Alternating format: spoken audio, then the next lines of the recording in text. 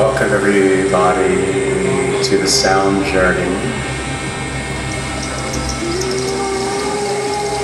Looking forward to going on this vibrational experience with all of you.